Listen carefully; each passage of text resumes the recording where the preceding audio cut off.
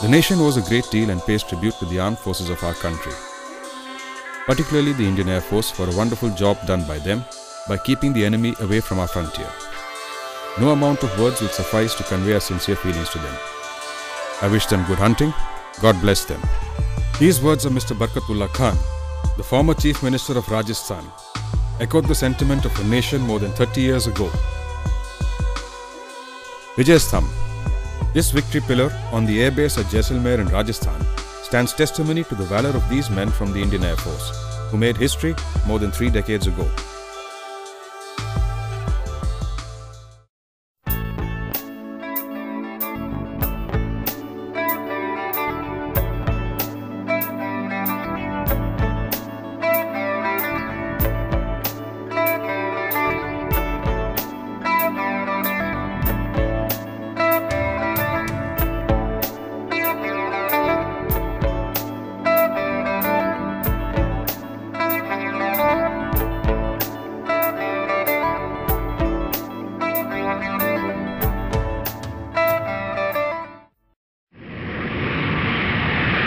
In 1971, India was forced to aid Bangladesh, the erstwhile East Pakistan, in her struggle for independence. It was therefore understood as only a matter of time before war broke out on the Western Front. The Indian government, on advice of the Indian Air Force, commissioned a number of forward air bases to be made operational at short notice. I wrote two papers. One paper to say that any future war, a limited duration war, which we have been fighting right from Mahabharata. A limited duration war, counter air assumes a lower priority. During this short war, weight of the air be thrown behind the army to capture as much territory as possible so as to bargain from position of strength later. The second paper, I said these forward bases, which are a concrete layout on the ground, will not serve our purpose unless they are backed up by by infrastructure on the airfield as well as the manpower. So these must be created as full-time stations as I call them as mini, mini wings. They should be better equipped than our rear bases which will never see offensive and defensive operations during war as the forward bases would see. One of these was situated on the outskirts of the historic town of Jaisalmer and was to play a pivotal role in days to come retired Air Marshal Bawa, then a young wing commander, was given charge of this desert outpost. Somewhere early 71 or middle of 71, I was nominated to, to take over Jaisalmer in the event of any hostility. I had only heard the name of Jaisalmer, I had never visited that location earlier on and the field was new. So I asked my adjutant, prepare for a move to Jaisalmer for reconnaissance. We must go and acquaint ourselves as to what exists there and what does not exist. So, we took up an aeroplane and we flew down to Jodhpur and Jodhpur I went and held a meeting with the AOC and I told him that I am going to Jaisalmer, I would like to know as to what kind of support you can give to me. He called all his section commanders and we had a good long meeting of hour, hour and a half in which it surfaced that the wing was not in a position to give support to Jaisalmer. I visited there, it was, it was nothing else than a, a concrete surface of 3 kilometers. The blast pens had knee-deep sand in them because of the constant uh, dust storms in that area there, there were only a total of 17 men on, on, on strength at that time, and one three tonner and one adjutant flight lieutenant navigator.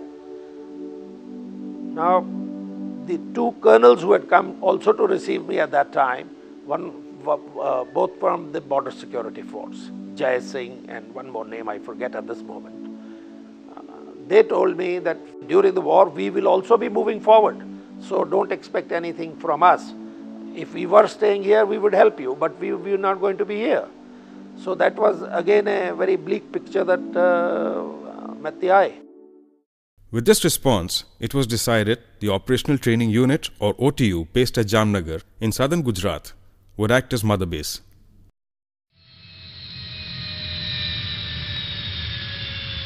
The Operational Training Unit was meant to train newly commissioned fighter pilots to introduce them onto fighter aircraft, and to give them a basic training in combat flying, formation, and armament. It was located at Jamnagar, and we had two uh, on operational tasks given by air reporters.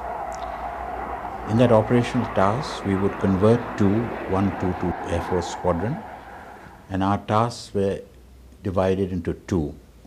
The major part of the squadron would remain in Jamnagar if, if war was to start against Pakistan, and were to be given targets for the protection of the Jamnagar airfield as well as attacks into Karachi, Badin side. Badin, as you know, is the big signals unit of the Pakistani Air Force. July 1971. With the situation in the east deteriorating, Pakistan began mobilizing forces along India's western front. As the wheels of war started turning, the Indian Army's 12th Division under Major General Khambata was moved to Kishangarh in Rajasthan. Their task in the event of hostilities to launch an offensive and capture Islamgarh and Rahim Yar Khan in Pakistan. They were to be aided by a detachment of the Indian Air Force based at Jaisalmer. Meanwhile, Jaisalmer Air Base begins to take shape. I slowly started to disperse things and moved everything below surface. As far as the fuel was concerned, which was the most important ingredient uh, for supporting any air operations, the BPI, the bulk petrol installation was, petroleum installation was not ready and that was also totally inadequate. Some 235 kiloliters of fuel it could take. So I made a request that I be given rubberized tanks. I dug pits at different locations, about 14 odd locations to, to put these down below the surface and I dispersed in such a manner that if one caught fire, the other would not. Now the, the guns, the airfield had no defense, air defense guns. The guns arrived one afternoon, six of those, and they were deployed uh, just like that by a lieutenant, second lieutenant who had, who had accompanied them. Anyway, then third, third problem was the ground defense uh, uh, uh, by, by the security people. Again, it was kept on a low priority. The, the units came and went. Seven Madras came, they defended it for, for a month or so. Then somebody else came, then armed constabulary, then home guards. Ultimately, I was settled, settled with the home guard. Then came the aeroplanes. I had waited for some time now. Two hunters arrived. This base was to use hunter aeroplanes. Two arrived, and for a month or so, we operated with two aeroplanes only, followed by another lot of two, and again the two trainers. On October 1st, 1971, Pakistan raised 38th Cavalry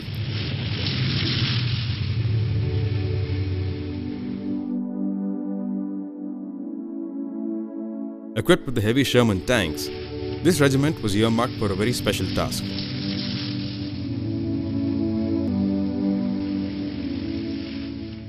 On the night of October 16, 1971, the commanders of the newly raised 38th Cavalry and 22nd Cavalry were called to the Pakistan Army's 18th Division headquarters at Hyderabad and told General Yahya Khan's masterstroke.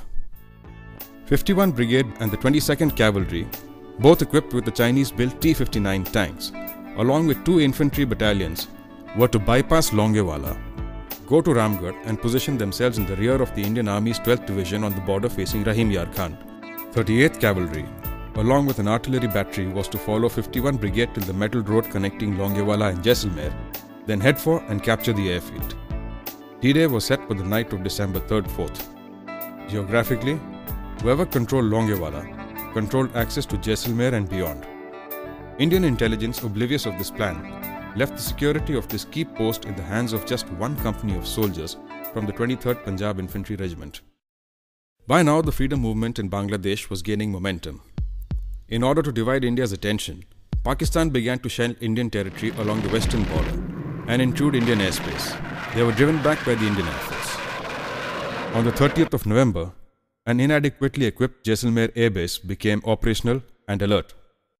And by the beginning of December, the num- people there were Squadron Leader Bali, R.N. Bali, myself, Squadron Leader Jagbir Singh, uh, Squadron Leader N.L. Gupta, Flight Lieutenant Suresh, S.K. Gupta, Flight Lieutenant G. Kapoor, S. Yadav, and Gosain.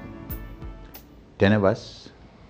There were six aircraft. Two were to be kept on ORP in readiness for any attack on the airfield, and four to be used for any tasks given by area quarters or requested by the army. The Indian Army was readied at Kishangarh. The Indian Air Force began flying reconnaissance missions in the area. Uh, the two main basic tasks which were entrusted to the detachment was air defense of the airfield, that is two air defense aircraft with a backup of two more, and render tactical support, close support to the army with these aeroplanes and await re- reinforcements from parent base, which were, which were due any time after the war started. On December 2nd, the Pakistan Army's 18th Division was ordered to start its planned operation in the evening.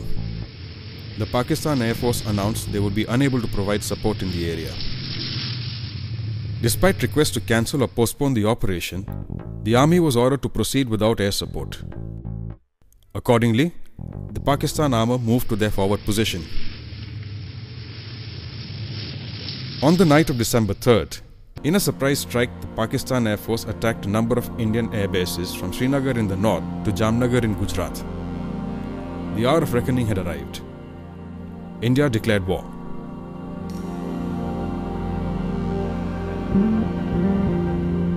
Now we were prepared to uh, do our respective strikes from Jamnagar. Four people were detailed to go to uh, Karachi. Then uh, four of us were detailed to go for that usual bait at Badin. On December 4th, at 1 am, the Pakistan movement was underway. In the face of logistic failures, the plans were many hours behind schedule. The armor was in place at Gabbar, 19 miles from the border. The infantry support had not yet caught up. At 4 am, the plans were abandoned for the day and the tanks and armor was dispersed and dug in. 7 am, the first planned offensive strikes by the Indian Air Force came into action. OTU, now 122 Operational Squadron, based at Jamnagar, flew strike missions to bomb the oil depot and port at Karachi and the radar installation at Badin. On 4th December, first sortie I went out, uh, led a mission to a place called Badin. You know, it was a radar unit which we destroyed and came back. On the second mission, uh, only two of us went out of four, and uh, we got shot up over the target area, and we were possibly chased back right up to a point Kala Donga, I believe. Y number two was asked to land by me at uh, Bhuj because he couldn't make it. He was hit very badly, and uh, he couldn't make it. I got a direct hit on my left inboard tank.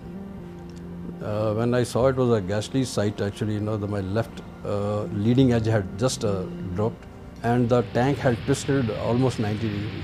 We were supposed to make another uh, attack, but uh, um, since I was hit, I told Kawaji, uh, I've been hit and I, we would, should go back. He says, okay. When I was reaching uh, airfield, I saw my bingo lights coming on. That is, you know, sort of a, just reserve fuel to go for the landing and all. Then I told uh, uh, that uh, you go ahead to Jamnagar I'm unlanded because of uh, fuel being low. The detachment at Jaisalmer flew its first missions over Jacobabad airfield and Sui gas plant.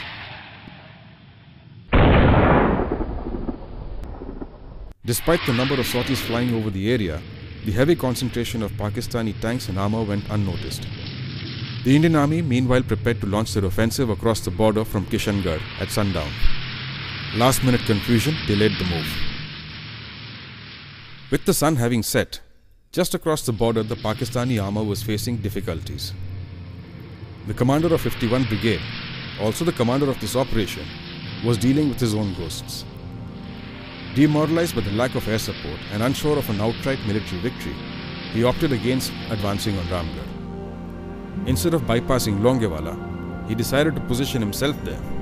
51 Brigade set course across the border at 11 pm, crossing into Indian territory at border post 635.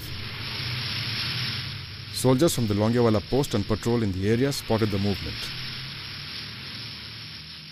I had an area of responsibility between boundary pillars 632 and 638. Now, this patrol was sent in the afternoon of the 4th December under an officer who was tasked to go to area of boundary pillar 635. Now, as luck would have it, uh, nobody has expected this, that there is going to be some development. But at about uh, a few minutes before midnight, the officer who was on patrol reported to me that he, he can hear some tank noise across the border, but it appeared to him that they were quite far away. The moment he passed this information to me, that there is a tank noise across the border, I passed it to my CO, who was away, but the 2IC was very much in the battalion headquarters. I, he asked me to check with check back with the, the officer who was on patrol, uh, Captain Dharambir that time. Uh, he's, he confirmed to me that certainly it is a tank noise and it looks they are heading towards the boundary pillar, towards the Indian side. When he confirmed to me, I passed this information immediately to my brigade headquarters. Well, the first reaction was that people at the top was reluctant to accept this move of the Pakistanis. They thought that they are not in a position to take such a venture in this area or this type of terrain. And maybe that I am uh, not giving them or feeding them the correct information. Uh, people at some stages felt that I am becoming jittery and uh, perhaps panicking and all. Since the war has started, very often uh, it does happen sometimes. But later on, after about another 10 15 minutes, when the patrol leader again gave me a call on the wireless set, that sir, the tanks are coming now close to the border and I can see the dust. I again passed to the brigade headquarters to look, there is some development taking place. My officer is repeatedly telling me that there is, there is a tank noise and it appears to him that they are heading towards us. A uh, few minutes later, the patrol leader confirmed to me that now he can see the tanks dust coming towards border and that night, night 4th, 5th December being a full moonlit night and you know the area is quite peaceful, there are no noises and all. Particularly at night, the sand, you can hear the tank noise a number of miles you can see, quite some distance you can hear the noise. Even uh, at about uh, few minutes past midnight, we also heard that there is something developing. There is certainly some noise. Again, this information was passed not to the, uh, not only the brigade headquarters, but also to the div headquarters. The, when this information was being passed, the general officer commanding of the division, Major General R.F. Khambata, he came on the line and he wanted to speak to me as to what is happening. Uh, my brigade commander, Brigadier Kharbanda, he was on the line. The 2IC of the battalion, who was officiating in the absence of the CO in the battalion, he was also on the line. We were all on the multiple. I confirmed to him that it is 100% true that there is some development, there is a tank noise, and it, it appears that the tanks are coming toward the boundary pillars. Uh, well, by that time, I think uh, our the Indian Forces commander realized that there is maybe some truth in it. Across the border, Pakistan's 38th Cavalry, along with the artillery battery, were waiting for the support of the infantry. They would have to wait a long time as the infantry was having problems of its own. Traveling in requisitioned civilian vehicles, the convoy got stuck in the desert sands and broke down, and the men were forced to march to the rendezvous. On December 5th at 2 am, tired of waiting and deciding to go ahead with the available troops, 30th Cavalry began the next wave of the thrust.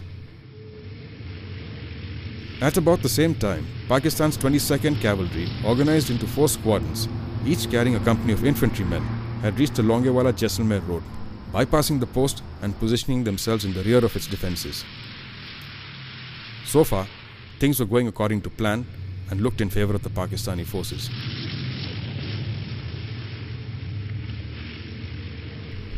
Just as the 38th Cavalry started their movement, the artillery accompanying them fired a salvo, which landed in and around the Longewala outpost. When I was through to the general officers on the telephone at night, uh, you can say at about 1 o'clock, uh, midnight, on night 4th, 5th December. The enemy artillery across the border, the medium guns started shelling our posts. When this telephone was on and I was talking to the GOC, they heard also the noise of the, uh, the shell being fired, the shots being fired, a lot of uh, noise he heard on the tape. He said, what is this, Kuldeep? I said, sir, this is, appears to me enemy fire on us, it is artillery fire. This time, the call for help with sounds of explosions in the background was taken seriously, though little could be done about the situation. In the absence of the brigade commander, the commander of the 22nd Cavalry, hearing what sounded like a pitched battle at Longewala, decided to clear the post before advancing on Ramgarh. Leaving two of the four squadrons of tanks and troops on the road, he moved out with the two remaining squadrons to accomplish his self imposed mission. As the first squadron of tanks approached the post, they drew resistance and deployed themselves on the Longewala Ramgarh road. The second squadron deployed themselves on the road to Tanot, surrounding the post. This move was to be the start of the collapse of a so far successful Pakistani mission. On taking renewed consideration of the messages from the outpost and the reported bearing of the tank column, there was no doubt of their target. A radio call was made by Major General Khambata to the base commander Jaisalmer, Wing Commander Bawa, informing him of the situation on the ground. Just past middle of the night, about 2, 2.30, now I get a radio relay message from the 12th Infantry Division General Khambata. And he told me, look, the enemy is running to capture the Jaisalmer airfield and he's coming in tank with tanks. So if you want to stay, you stay. You want to get away from there, you get away. I told him that you are supposed to stop these tanks from getting to the airfield. The air defense is your problem. He says, I'm too far away, I cannot do anything for you. Since I cannot do anything for you, you have to fend for yourself. I was supposed to be uh, defended by missiles, but he says, I don't know where they are. Though the missiles were in the area, but not deployed. I know uh, I'm making uh, an assertion on this because, because the missile batteries were being housed on the airfield in the air-conditioned room. But people had gone out to carry out reconnaissance but not deployed. Soon after, another communication was received by the Air OP commander based at Renault. At about 4.30, General Khambata was on the line. Now this is what exactly he told me. He said, Atma, enemy tanks are now heading for Longewala post. And uh, first we were not believing these reports, but now it is confirmed that they are enemy tanks. And uh, we have no FAC there, no artillery there, no anti-tank. Sangha was my best pilot, he was a flying instructor. And uh, Sangha, I said, I think Sangha who should go first because uh, I had only slept for two or three hours that night and I briefed him about the whole situation. And Sangha took over at first light. He came and uh, told me that the plans have changed. Pakistanis have launched a surprise attack at Longewala and that Longewala was at that point of time under attack. And he also informed me that our own air, uh, air support would be coming in from Jaisalmer. When this was uh, apprised to me by the general that the tanks were running in, I called the flight commander and I also called the ground defense commander. I apprised them of the situation that we are going to be overrun by the tanks if they succeed in coming in here. If the enemy has crossed into our territory or across the international border, he must have crossed at sundown or little after sundown. And by the time the thing filtered and came up to me at 2.30 or so, the tanks, if they had hit the, the blacktop road, they would be at Jaisalmer within about four to five hours. Because once they are on the blacktop, the trucks and the tanks can maintain a high speed and reach. So, calculating that way, I was expecting the tanks to get to Jaisalmer just about the time when the day was breaking. Months of preparation were now to be put to the test. There was no panic as such, but we decided to change the armament load of the aircraft to tank penetrating rockets, armor penetrating rockets, and that took some time. The ground crew worked very hard in the darkness and got the aircraft ready by dawn. At first light on the morning of 5th December, two Hunter aircraft were launched from Jaisalmer. The first uh, two aircraft flown by Coordinator D.K. Das and Flight Lieutenant Gosain with the instructions to examine if there are any tanks around Jaisalmer airfield itself. It was still dark. So getting out onto the uh, taxiway was itself was a problem because there was no light in the hunters. Well, you can call it as luck or whatever the case may be. We could just about make out the center line of the taxi tracks or something like that. So we started following that. We went up to the uh, runway and when we asked for the permission, etc., all that the ATC said was, you are clear to taxi out, clear to line up, clear to take off. All in one go. So, okay. So there we go. We lined up. I told Ramesh Gosain, I said, after 10 seconds you get airborne. My nav lights are on. So follow that. My takeoff was from the broken lines of the central line. From one broken line to another broken line because I couldn't see anything further than that. So we got airborne and my number two Gosain uh, caught up with me. We did a complete turn towards the north. I could just about barely make out the silhouette of the Jaisalmer fort.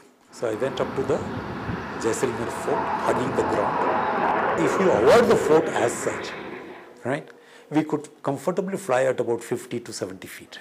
From there onwards, since I knew the topography and the area well, I caught on to the road which was leading from Jaisalmer to Ramgarh. That was the tar road. My idea was to just keep seeing that road because that is the only navigation aid which I have got to go to Ramgarh. Because if I stray away from that particular road and go on my compass, any deviation of even 1 degrees to 2 degrees will land me up somewhere else and I will never be able to spot Ramgarh. So we went to Ramgarh and I did not see any tanks. So I said, okay, we will turn towards the west. So we started following the road leading from Ramgarh to Longewala. As we closed in towards Longewala, I could spot something black like matchboxes lying on the ground. That was the first hint of tanks. So I said, Ramesh, can you see what I see? He said, yes, sir. It's okay. Now, by the time we went close by, the light had come up and I could see, you know, bits of cotton puffs in the air. Then sudden realization took place. I said, listen, these are ack firing taking place at us. So I told Ramesh, I said, step up. So straight away we stepped up. We did one orbit. That was the time I realized, I said, I've been told there are a few tanks there, but I could see enough matchboxes around. And then I started counting by pressing the RT button. I said one, two, three, and things like that. I counted up to about 30 odd, 33 or something like that. Just after sunrise on the 5th of December, I took off and I headed for Longewala uh, with whatever limited resources I had. I had no contact frequency with the ground troops, no uh, army maps, only the flying map. As the aircraft made visual contact with Longewala, the Pakistani forces were found preparing to mount an attack on the post. One tank was climbing the steep face of the dune, while another was moving towards the helipad. And that time I told them the tank closest to the post be dealt with first. So I took on to the lead tank which was coming or going towards the north. It was a north-south attack.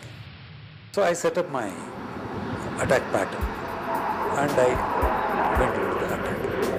Here it will be worthwhile to mention that I am going into attack as a single aircraft with rockets, whereas I am being fired upon by the whole lot of tanks which are on the ground with their ack-ack. Again, I am coming in a almost a steady dive, no maneuvering till I finish my attack. Even if I had to maneuver, that is only to keep the sight on the target. Whereas the others are in a position to maneuver and fire at me. My firing range is 900 yards. And 900 yards is also the lethal range for the anti-aircraft guns on the ground. While in the attack itself, I had to use my camera to first uncage my sights and keep that sight onto the target. Since it is a moving target, I am also maneuvering, allowing for that particular movement, giving the wind allowance as well as for the moving target allowances. While in this particular attack, I require a tracking time of three and a half to four seconds. I'm coming down from approximately 3,500 feet down to the required height with approximate angle of dive of about 30 degrees. I could see the uh, ack-ack firing and the, every fifth round is a tracer and the tracer leaves a mark when it is coming towards me. So I am through the cone of fire, number one. Number two, there were two other tanks which were maneuvering to come in front of the tank on which I was doing the sighting. Okay, they were kicking up the sand, so they were sort of uh, putting up a sand screen so that the target can be uh, sort of masked. But through that sand screen, I have to keep the, my sights onto the target. This is what I did, and what I estimated as the correct range, I fired four rockets. The moment I released them, I knew that I will get a direct. As I pulled out, my number two Gosain called out, Sir, congratulations, direct hit. I was thrilled to the core.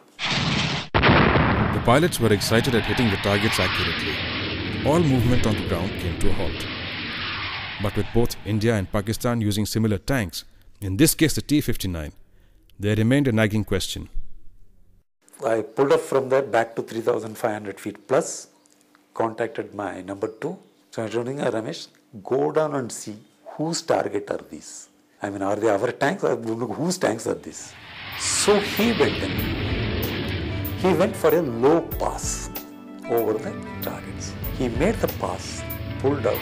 Guess what he said? He said, sir, they are Indian tanks. At that juncture, my morale was in my boots. I was sweating from my helmet down to my boots and my G suit was fully wet. Said the war started. The very first attack, a direct hit by an Indian Air Force aircraft onto the Indian Army tank. I just couldn't visualize what was going to happen to me after that. He says, God, what have I done? The nervous pilots decided to orbit the area till they received confirmation.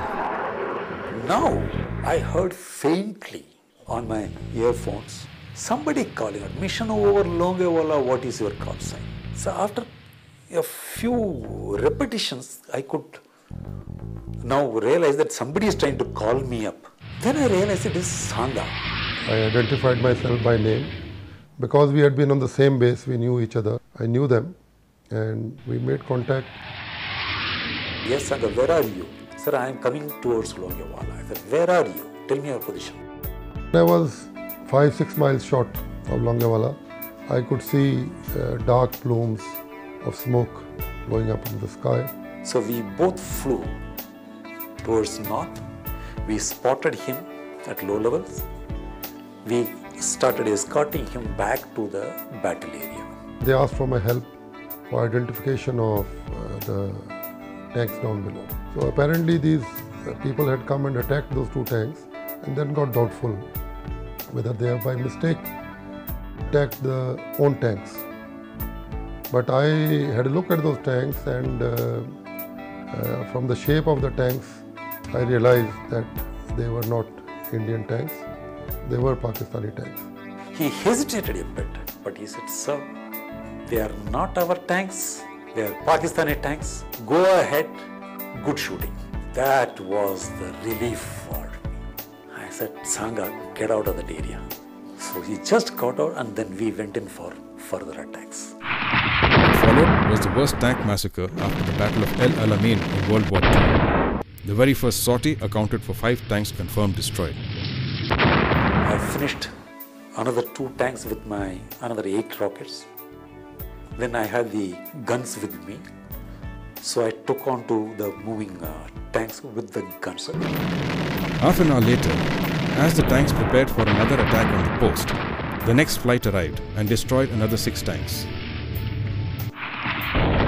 In the sortie number three for today, one aircraft went US, while that of Flight Lieutenant Suresh was very serviceable, so he took off alone and was followed by me about 10 minutes later.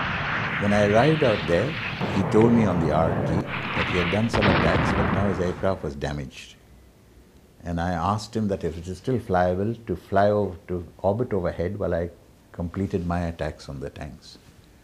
He did so and returned to base, and I found that his aircraft was not, did not seem to have the power to move forward. There seemed to be some damage onto the tailplane side, but it couldn't be very easily seen as to what exactly it was. However, his undercarriage came down safely and checked out, and we all landed safely.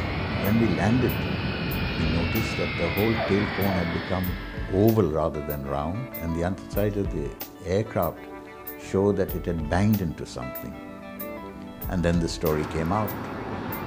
Cookie said that as he closed in on one of the tanks on his uh, firing pass, the tank appeared to fire his main gun and he got totally disoriented. And he brushed into a sand dune. It's amazing how the aircraft bounced off that sand dune and got into the air again with only this slight damage. But the damage on the aircraft was very, very definite. And uh, it's just to Cookie's credit that he maintained his composure after such a close call to land the aircraft safely. I understand this was also seen visually by one of the AOP pilots. I saw him uh, going into an attack uh, on and hitting his tailplane onto the sand dune because I think he got a flash. Uh, that's what I came to later on that uh, as he was going in, the people firing at him from down below, and the flash came into his eye and he lost that concentration. He hit his tailplane. I saw the aircraft bouncing up into the air, and it was remarkable. You know, he flew that aircraft back